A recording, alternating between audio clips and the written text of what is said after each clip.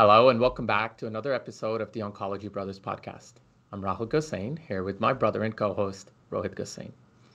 Today, we're discussing yet another recent FDA approval in the world of cancer. Arguably, role of immunotherapy in MSI high or MMR deficient has been one of the most promising advances we've seen in cancer. From bucket approval of pembrolizumab in this space, with our quest to do even better, which takes us to our study today, CheckMate 8HW, where we have seen dual checkpoint inhibitors focusing in metastatic colorectal cancer. To help us unpack this study and touch on key findings, we're joined by Dr. Nicholas Hornstein, GI medical oncologist from Northwell Health. Nick, thanks for joining us. Thanks so much for having me. Excited to discuss what is a very impactful approval and study. Indeed, Nick. Let's dive right in. Before we touch on the study design and its findings, a bit of the background here.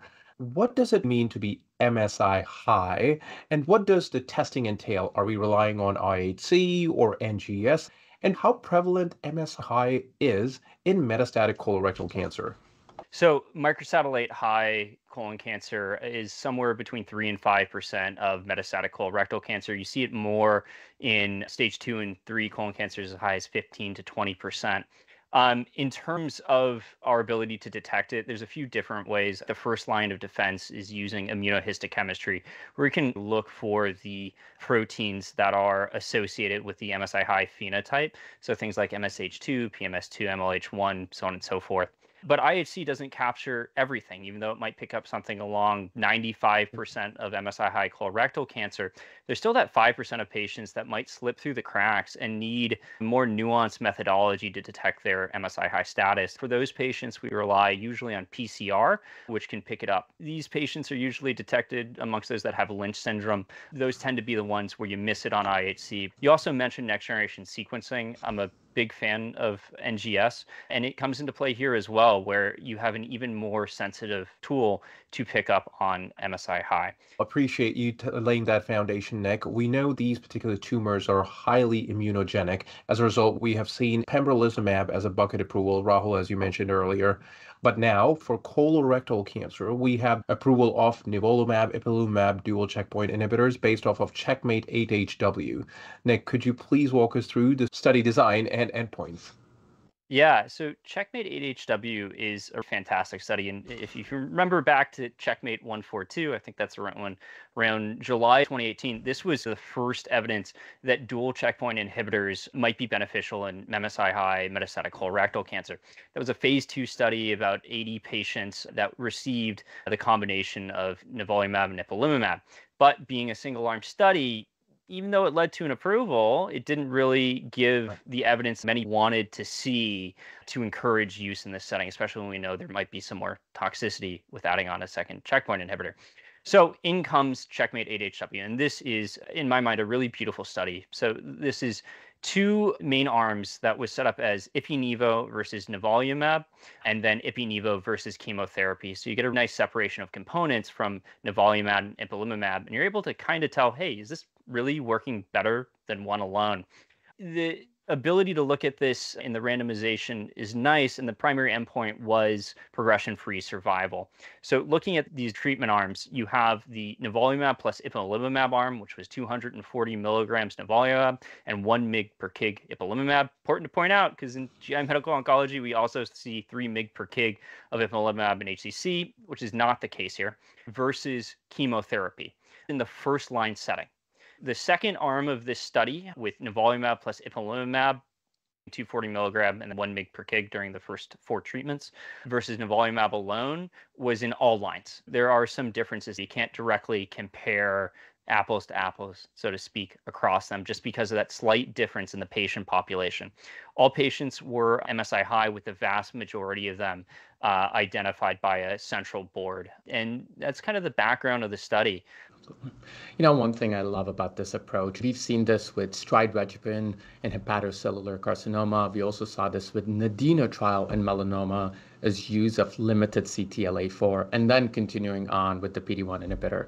This way, we're getting the benefit of dual checkpoint inhibition, but also limiting the side effects. And one thing that you pointed out, Nick, the dose of IPI here is one milligram per kilogram. This is different than recent approval of IPI-NIVO in HCC, where the dose of IPI is three milligrams per kilogram.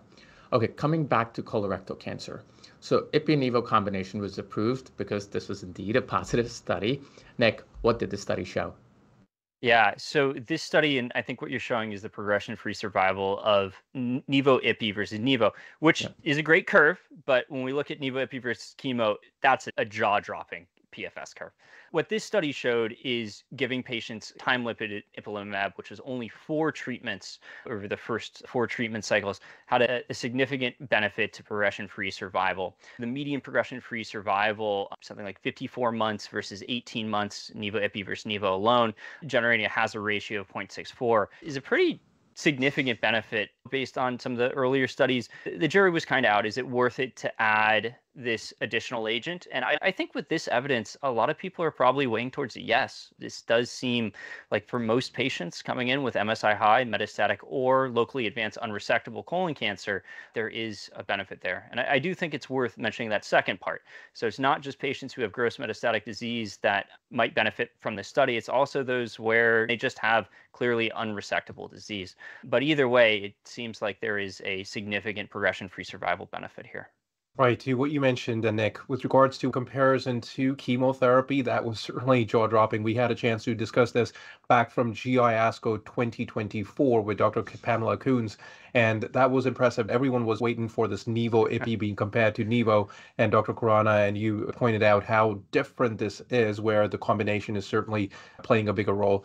Though we have used this combination with CTLA4 in other disease sites as a community oncologist, we've seen that in kidney cancer, melanomas, and others. This does not come without toxicity. There is significant toxicity associated with it. Nick, could you please point out important side effects that we have seen with the combination? Yeah, with the combination of nivolumab, ipilimumab, as you mentioned, this is seen in multiple tumor types, similar dosing, similar side effects. The main side effects in terms of greater than 20% across patients, things like fatigue, diarrhea, itching, abdominal pain, and nausea. We have to keep in mind the things we really worry about for our patients. The things that keep me up at night where if a patient calls me, I say, okay, we need to go to the ED or we need to start some steroids or other interventions. We're talking about things like pneumonitis, colitis, and and honestly, sometimes it's a little hard to cancel on immunotherapy. I say if you can think of an autoimmune disease, it could happen with this. The other thing I would mention is thyroiditis, worth keeping in mind just given the high probability, but we have pretty good treatment for it nowadays, so not as critical. Rohit, again, we're getting more and more comfortable with these immunotherapy options in our clinic, but keeping these side effects on our radar is very important. The common ones and the rare ones as well, be it neurological side effects. I've seen some encephalitis. I actually have a patient in the hospital right now with that. So these are the things that we have to keep in mind. They're not benign to the point of grade three, grade four, it's pointed out that about 22% and rather 14% were experienced. Again, in community, we had to manage these effectively. Mm-hmm. Absolutely. Absolutely. Yeah. Given the data in hand, most of your patients are going to get Ipi-Nivo if they qualify for immunotherapy.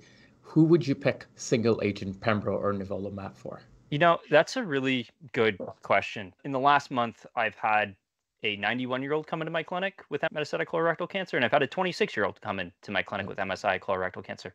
And both of them got Ipi-Nivo. So huh. the number of patients that I'm, and this was after a very long conversation about sure. risk benefits. Yeah, yeah. I, I, think you're probably expecting me to say the 91 year old got single agent. But I, I would have picked that. Yep. I think a lot of this is based on discussion with the patient, going through the risks, benefits, and making an informed decision with the patient.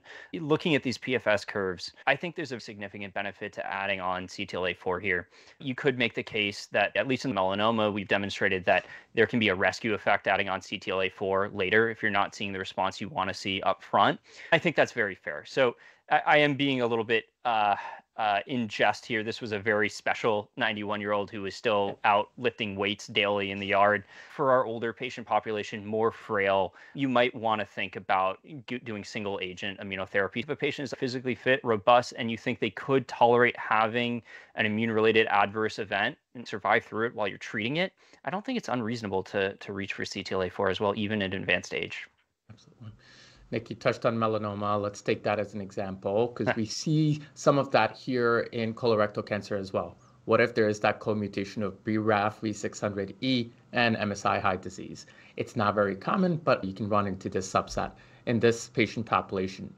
Are you going to rely on immunotherapy? We've also seen data on the BRAF inhibitors here. How would you treat that co-mutation? I think we have multiple trials out, you know, Beacon, Breakwater. At the end of the day, you're talking about very different toxicity profiles and mechanisms of action. If I have a patient in a critical period, maybe impending organ failure or something that you need to get a response immediately, maybe you do think about using uh, chemotherapy based strategy, at, at least for the start, before you sequence into immunotherapy. I think those patients are uh, hopefully few and far between. My hope is that given the significant benefit with this combination therapy and uh, the stark difference in the side effect profile, I hope to use immunotherapy increasingly. I hope we can discover the way to crack the code on microsatellites colon cancer and find more benefit there.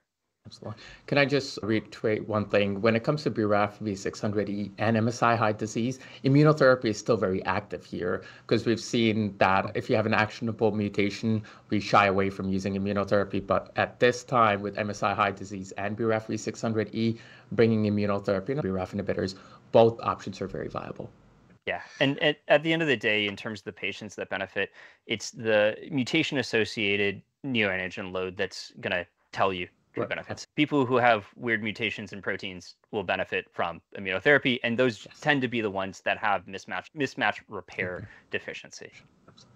Again, as always, when multiple options are available, patient shared decision making is certainly the key. Nick, I acknowledge you. You are a brave man to be utilizing the dual checkpoint inhibitor in a 91 year old. We continue to say that age is a number. Well, we are eagerly awaiting data on the COMMIT trial, which will be atezo plus chemo. We still have some drop off for survival for some of our patients with immunotherapy, be it because of toxicity or some of them being non responders. Nick, before we close, any final thoughts here? This is a very exciting study, and the hope is that as the years go by and additional studies come out, we learn how to leverage immunotherapy to a greater extent for our patient population, not just for MSI high colorectal cancer patients, but also for MSS. I think we've seen some very promising data in the neoadjuvant setting as well, in both MSI high and MSS, and my hope is that we'll continue to see that.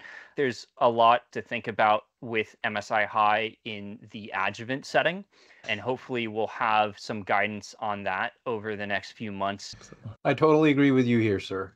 Since the inception of immunotherapy, its use and responsiveness has been the most incredible story in oncology, where our patients are living much longer. And similar is the case we see with Checkmate 8HW for colorectal cancer. Nick, thanks for walking us through the study and its findings. For our listeners, let us go over a quick recap.